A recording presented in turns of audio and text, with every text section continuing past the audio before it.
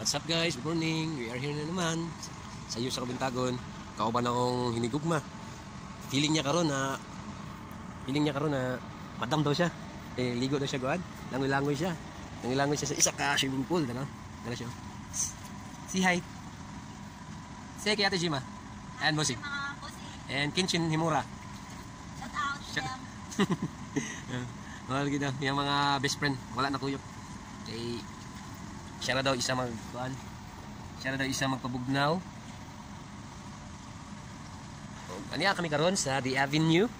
Uh, nindot ilang kuan dere, na sila ay club zone, lunch music, and lami ilang mga buffet dere.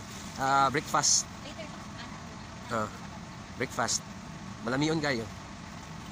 O affordable ra siya, relaxing. Nindot lang mga rooms. O comfortable, comfortable talaga. Comfortable.